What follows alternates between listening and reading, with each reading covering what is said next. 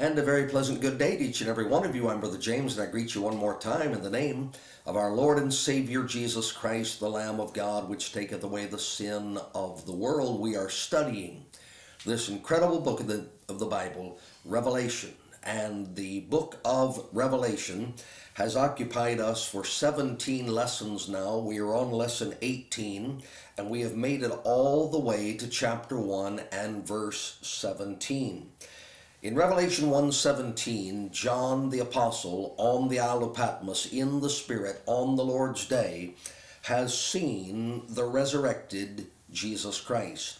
The description of the person of the Son of God, the Son of Man, is given to us in verses 13 through 16. And verse 17 says, And when I saw him, I fell at his feet as dead. And he laid his right hand upon me, saying unto me, Fear not, I am the first and the last. I am he that liveth and was dead, and behold, I am alive forevermore. Amen. And have the keys of hell and of death. John in verse 10 says, I heard. John in verse 12 says, I turned. John in verses 12 and 17 says, I saw. And John in verse 17 says, I fell. What a wonderful picture we have here of how the Lord saves a sinner. John is not getting saved here. John is actually seeing Jesus Christ, and Jesus is going to give him to him the revelation of uh, how things will turn out in the end. But we have a picture here of God saving the sinner. First, the voice. And we know the voice to be the Lord. And John said in verse 10, I heard, I heard. Faith cometh by hearing, and hearing by the Word of God. And so the first step in this matter of being saved is you have to hear the voice of the Lord. You have to hear the Word of God. Second, he did not continue in his own ways, but he turned to the source of the words. This is a marvelous picture of repentance. I, I, know people argue about repentance. Do you have to repent? Do you not have to repent? How do you repent? What does repentance mean? We, we're not arguing that. Not, not now, not now. Jesus taught repentance. John the Baptist taught repentance. Paul taught repentance. Peter, James, and John taught repentance. The New Testament from, from start to finish, God commandeth all men everywhere to repent. Now, he didn't command everyone everywhere to shed a lot of tears. He didn't command everyone everywhere to have an emotional experience. He didn't command everyone everywhere to stop doing every wrong thing they were doing. But he did require everyone that believed the wrong thing to abandon that belief and believe the right thing. He did demand that everyone that was on the way to hell change direction. And so John, John said, I turned. I turned. Such turning is despised by those more concerned with soul winning, not a Bible term, certainly not a New Testament term, uh, than God saving souls. God commandeth all men everywhere to repent. The testimony of those in Thessalonica was that they, well, let's read it here at chapter 1, they turned to God from idols. They turned to God from idols. That's 1 Thessalonians chapter 1. I believe it's verse number 8. Is it here? 8, 7, um, here we go, 9. There it is, 9. And how ye turned to God from idols to serve the living and true God. The prodigal son did not stay in the pig pen after he said he had sinned. He got out of the pig pen and headed for home. So John heard the word. He turned, changed direction. Verse number 3 he did not behold, or the third point, he did not behold the Lord until he heard the word and turned. But when he heard the word, turned in response to the word, he then said, I saw. And when he saw, oh, once he came face to face with the resurrected Christ, he falls as a dead man. No argument, no opinion, no hope of impressing with his works. He fell at his feet as dead, dead in trespasses and sins, hoping to be raised in newness of life. And, and this is the way of genuine conversion. Hear, turn, see, fall. Whosoever shall fall upon this stone shall be broken. Oh, but the broken one will be lifted up by the Lord Jesus Christ. Now, in this verse, we read that while in his fallen position, not a fall into sin, but a fall into, into a uh, humble worship, the Lord laid his hand upon John. Look at this, verse 17. And when I saw him, I fell at his feet as dead, and he laid his right hand upon me. What a blessing. We do not read. Now, now we're back to the literal words of the text. We do not read that John was elevated or told to stand. As far as the text records, as far as what the Bible says, John's position does not change until he is caught up to the throne. He says in, look at 117, when I saw him, I fell at his feet as dead, and he laid his hand upon me. So John's on the ground at the feet of Jesus. Jesus puts his hand upon John, and the next change in position we read about is in chapter 4, verse 1. After this I looked, and behold, a door was opened in heaven, and the first voice which I heard was as it were of a trumpet talking with me, which said, Come up hither, and I will show thee things which must be hereafter. And immediately I was in the Spirit, and behold, a throne was set in heaven. So just in the, in the wording of the passage, John falls at the feet of Jesus. The revelation of the seven churches unfolds before him. And John does not change position until he is taken up to heaven in response to a call to come up hither. How different would our lives be if we spent those days between our first beholding the glory of the risen Christ and our departure to be with him, bowed humbly in his presence with his hands upon us and his word revealing to us the truth. Think about that. How different would be the history of the New Testament church had all the saved people who humbled themselves at the feet of Jesus in order to be saved, had they just stayed in that same humble, contrite condition of heart, of mind, of spirit, of attitude, right up until the day that he called them home. He says to John, Fear not. And I always like uh, this use of uh, this phrase as Jesus uses it because he so frequently says, Fear not, in a time when someone would be expected to be just as terrified as one could be. When the uh, disciples were hiding in the upper room after his resurrection, the Bible says that Jesus just just came right through the wall and stood in the midst. The door was locked and, and bolted, and nobody opened the door, and suddenly there was the Lord, and, and he said, uh, Fear not. Peace.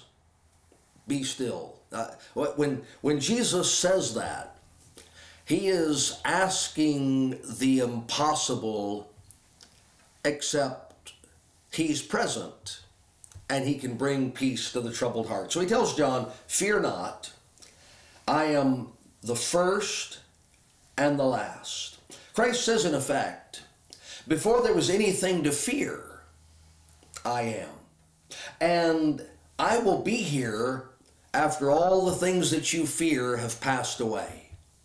Jesus Christ is greater than whatever would cause us alarm. Jesus Christ is greater than whatever we might uh, might trouble our hearts.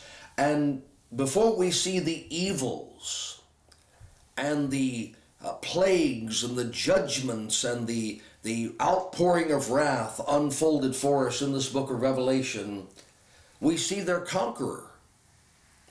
We're going to read about creatures out of a bottomless pit. Fear not. We're going to read about apostate and erring churches. Fear not. We're going to read about a beast and his mark. Fear not. We're going to read about uh, poison waters and stars falling from the sky. Fear not. Remember, this is the revelation of Jesus Christ. It's not the revelation of tribulation judgments. It's not the revelation of Satan's final attack. It is the revelation of Jesus Christ. And he says to the revelator, he says to the one who is going to record these truths, let's start, let's start with this. Don't be afraid. Oh, there's, there's lots in this book to be afraid of. But not if you're at the feet of Jesus Christ with his hand upon you and his words comforting your heart. He says, Here's why you should not fear I am the first and the last. We covered this earlier. In verse 8, he said, I am Alpha and Omega, the beginning and the ending. We read that in Isaiah uh, 41 and verse number 4, Jehovah, God the Father, stating that all his life is the work of his power. In Isaiah 45, 6, the Creator boasting, There's none beside him who can form light and darkness. We read in Isaiah 48, 12, and 13 that he uses the same title to illustrate his magnificence. Not only has he made the heavens and the earth, but he is so great to have formed them with his own hands. Thus, when the Lord Jesus Christ uses this title for himself in Revelation 1:11, in Revelation 1:17, and at the end in Revelation 22:13, only the most desperate opponents of the truth could deny that he is the very God who created all things. He says he is the first. He says he is the beginning. He says he is the Alpha. I believe him. I hope you do too. He says that he is the last, he is the omega, he is the ending. Now again, I, I, not not to be repetitious, just to be repetitious, but but to help you with this.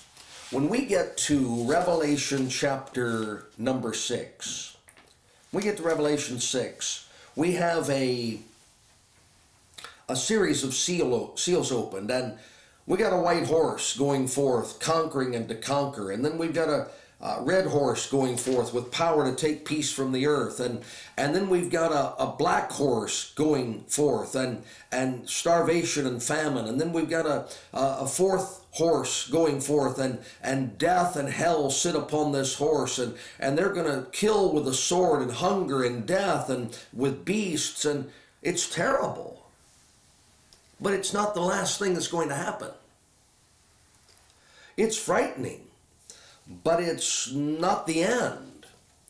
And oh, we read here in Revelation 7 that there's, uh, there's fire and thunderings and lightnings and an earthquake and, and fire mingled with blood and hail and the grass is burned up and fire cast into the sea and the sea creatures are dying and, and, and then the, the, the, the the moon and the stars and, uh, and the, the lights in heaven are going dark and it's, it's bad business. But it's not the end. It's not the end. And we read in Revelation 9 about this this, these creatures coming that torment men and, and men wanting to die and not being able to die. And, and then we read about, uh, oh, just it, it just goes on and on and on through chapter 10 and 11 and 12 and 13 and 14 and, and then rises this mother of harlots and, and the, the uh, economic system of the world is under the power and control of the devil. But that's not the Omega. And as we keep reading through this book of Revelation, here's what we find. The plagues come to an end, and the empire of the beast comes to an end, and the reign of Mystery Babylon comes to an end, and the mercantile system of literal Babylon comes to an end, and Jesus Christ, the King of Kings and Lord of Lords, never comes to an end and the new Jerusalem coming down from God out of heaven, where God dwells with his people and his people dwell with him, never comes to an end. And the Lamb, being the light of that city, never comes to an end. So before we start unfolding the things in Revelation that might make one afraid, we have the one who says, Fear not. And before we begin to look at the horrible things that will happen on the earth, we have the Lord Jesus Christ telling John to tell you and telling John to tell me it's not going to end with judgments. It's not going to end with wrath and fire and fury and plagues and death. It's going to end with me. Jesus Christ, the Alpha, Jesus Christ, the Omega, Jesus Christ, the beginning, and Jesus Christ, the ending. Praise the Lord. I'm the first and the last. He's the last Adam. He's the last subject, the last topic in the great book of God. Now he says in verse 18, I am he that liveth and was dead. And he is the only one who can make that claim. And behold, I am alive forevermore. There was a man raised from the dead, a boy raised from the dead by Elijah. He was dead, he lived, but death, the first death, came for him a second time. There was a man when Elisha was buried, and the corpse of Elisha touched the bones of this man, and this man was raised to live again. He escaped the first death, but only temporarily that man later died again. Jesus raised the widow of Nain's son. He raised Jairus' daughter. He raised Lazarus from the dead. We, we really don't know how many people throughout the course of his three and a half years of ministry, we really don't know how many people Jesus raised from the dead, but they were numerous. But none of them is on a speaking tour today so that you can shake their hand and have your picture made with them because they all died again. But when Jesus Christ walked out of that tomb, three days and three nights after he laid down his life, you know, you know what he did? He took the time to change out of his grave clothes and fold them and leave them lying in that tomb. He didn't pack them and take them with him. He didn't carry them under his arm or, or put them in a, in a bag. He left them behind because he would never, never, never need them again. Not only is he alive, he is alive forevermore. Have you been to Jesus Christ and trusted him as your Savior? The Bible says, For God so loved the world that who that he gave his only begotten son that whosoever believeth in him should not perish but have have everlasting life jesus agreed with his father the father agreed with the son that were christ to die upon the cross to pay for our sins and rise from the dead and he did that the father would give him the power the authority the right to give eternal life to all that came to him in faith. It's John 17, you can read it there. Jesus Christ doesn't have temporary life. So the life that he gives you when you believe on him is not temporary life. It is eternal life. I am he that liveth and was dead, and behold, this is what you need to take a look at. Behold, I am alive forevermore. And then we have another of those uh, amens that we find in Revelation. We had one in uh, verse number 6 and one in verse number 7. And here's one uh, again in verse number uh, 18. But this one is spoken by Jesus Christ. I, I, I am He, so be it. I live, so be it. I was dead, so be it. I am alive forevermore, so be it. Jesus Christ, all the promises of God in him are yea and amen. When he says, Fear not, let it be so. When he says he's the first and the last, let it be so. When he says he lives and was dead, let it be so. When he says he's alive forevermore, let it be so. This is not another Jesus. This is not a different Jesus. The one that hung on that cross, he's right here. The one that was laid in that tomb, he's right here. The one who's speaking to John, same one, it's the same Jesus. He'll never die again. Praise his holy name. He says, I am alive forevermore. Do you have everlasting life? You can only get it one place, Jesus Christ. If I if I say something in, in a forum that reaches the entire world, if I say something negative or critical about Muhammad, it could cause me great harm. If I said something critical about Buddha or Confucius, it, it would upset many, many people. If I said something negative or, or if I found fault with one of the one of the popes, there'd be a lot of people say, whoa, wait a minute, that's that's out of bounds. So let me just say this.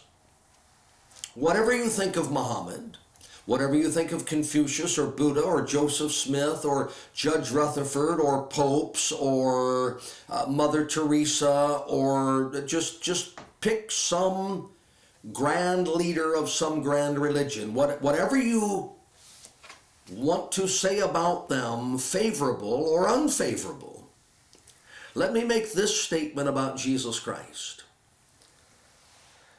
He liveth though he was dead, and he is alive forevermore.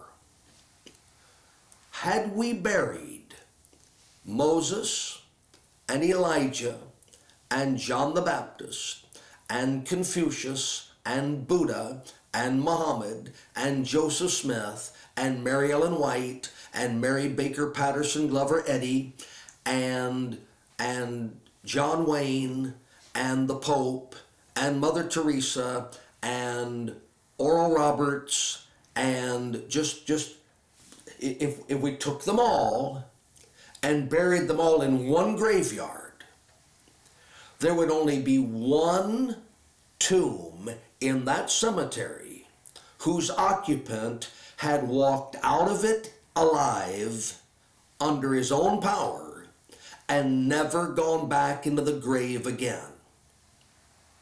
I am telling you that there are many religions in this world that may offer you the opportunity to live a better life.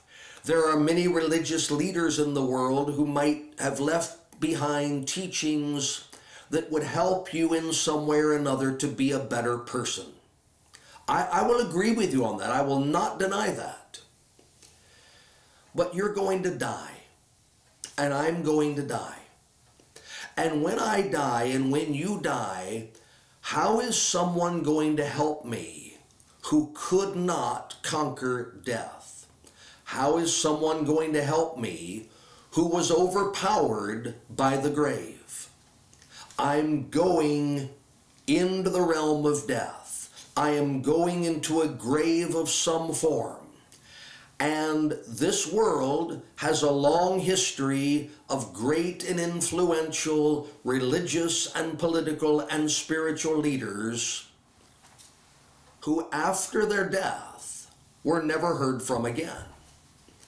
But this world had one man, one man, who, after his death, was seen alive by over 500 eyewitnesses at one time. And here he stands talking with John and declaring, declaring, I am alive forevermore. Do you want to know that when your, your temporal life ends, when you breathe your last breath, your mortal body gives up the ghost, your remains are burned, your ashes are scattered, your remains are buried in some grand mausoleum or some lowly grave in the ground. Do you want to know that your soul will live forever? rather than suffer forever in the torments of hell. You say, I don't believe in hell. Jesus said, and I have the keys of hell and of death. He took care of it all. We'll see that next time. But for now, for now, you need a Savior because you're going to die. You need a Savior because when you die, you lack the power to get yourself out of the grave and live forever. And here's one who has that power. He manifested, he displayed it, he showed himself openly following his resurrection. And Jesus Christ has the power to give you everlasting life if you will believe on him. Trust him You've heard the word. Turn from your belief or turn from your unbelief. Behold, the death, burial, and resurrection of the Lord Jesus Christ, and then fall at his feet and trust him as your Savior, and he will give you everlasting life. The Bible says it this way believe on the Lord Jesus Christ and thou shalt be saved. Neither is there salvation in any other.